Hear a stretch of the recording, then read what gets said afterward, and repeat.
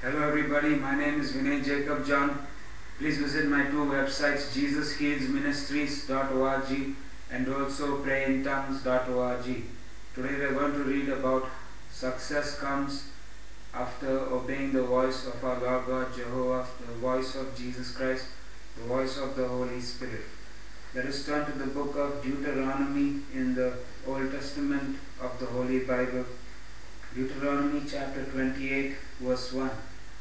And it shall come to pass if thou shalt hearken diligently unto the voice of the Lord our God Jehovah, hearken diligently unto the voice of the Lord God Jesus Christ of Nazareth, our Saviour, hearken diligently unto the voice of the Lord our God, Holy Spirit, to observe and to do all Jesus' commands which I command thee this day, that the Lord our God Jehovah shall set us on high above all nations of the earth. Also, let us turn to the book of Galatians in the New Testament of the Holy Bible, Galatians chapter 2, verse 20. I am crucified in Jesus Christ of Nazareth, nevertheless I live. Yet not I, but Christ Jesus of Nazareth lives in me, and the life which I now live in the flesh, I live by the faith of the Son of our Lord God Jehovah, Jesus Christ of Nazareth. Jesus loved me, Jesus loves me, Jesus will always love me, and Jesus, you gave yourself for us all. Verse 21 I do not frustrate the grace of our Lord God Jehovah, for if righteousness come by the law, then Christ Jesus is dead in vain. But if righteousness comes by hearing by the faith of the name of Jesus Christ of Nazareth, then Jesus has risen from hell, the tomb, and the cross. Also, Galatians chapter 3, verse 13. Christ Jesus of Nazareth has redeemed us all from the curse of the law, being made a curse for us, for it is written, Cursed is everyone that hangeth on a tree. 14. That the blessing of Father Abraham may come upon us, the Gentiles, through Jesus Christ of Nazareth, that we might receive the promise of the Holy Spirit through the faith of listening to the name of Jesus Christ of Nazareth.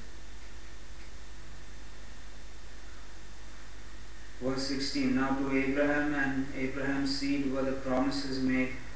He said not unto seeds as of many, but as of one, and to thy seed, thy holy seed, who is Jesus Christ of Nazareth.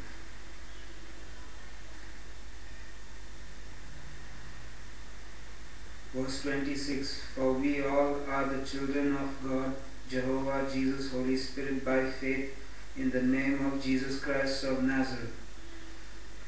Verse 28 There is neither Jew nor Greek nor Indian or anybody else here in this planet earth, not according to the flesh. That's what that means. Verse 28 There is neither Jew nor Greek, there is neither bond nor free, there is neither male nor female. You can see that this goes beyond just natural flesh.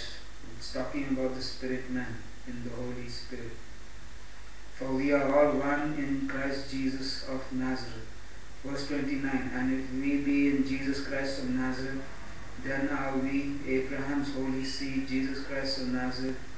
We in Jesus, Jesus in us all. And we all are heirs according to the promise of our Lord God Jehovah. Also, the book of Ephesians, chapter 1, verse 3. Blessed be the God, Jehovah and Father Jehovah of our Lord God Jesus Christ of Nazareth. Our Lord God Jesus Christ of Nazareth has blessed us all with spiritual blessings in heaven above, here on earth, and for those who are in hell below. In your name, O Jesus Christ of Nazareth, we have all spiritual blessings. The Bible in Hebrews 4:16 says, "Let us come boldly unto the throne of grace, that is the throne room of our Lord God Jehovah, Jesus, Holy Spirit, that we may obtain mercy and find grace to help in our time of need." Also in the book of Luke, it says Jesus grew up with wisdom, stature, that means growing up, maturing, and favor with God, Jehovah, Holy Spirit, and mankind. So all we need nowadays is grace, mercy, wisdom, stature, uh, growth, and favor with God, Jehovah, Jesus, Holy Spirit, and mankind. The things that we need here on this planet Earth will be provided by our Lord God, Jehovah Jireh, our provider, Jesus Christ of Nazareth, and the Holy Spirit. Thank you everybody for listening to me today. Please visit my friend and partner in the gospel of Jesus Christ of Nazareth, Jesse Duplantis Ministries, www.jdm.org, and Christians United for Israel, www.cufi.org. Please also visit my spiritual father's website, Grace Chapel here in Bangalore City, Karnataka, India, www.gracechapel.org.in. Also, please visit my two websites, JesusHealsMinistries.org and also PrayInTongues.org.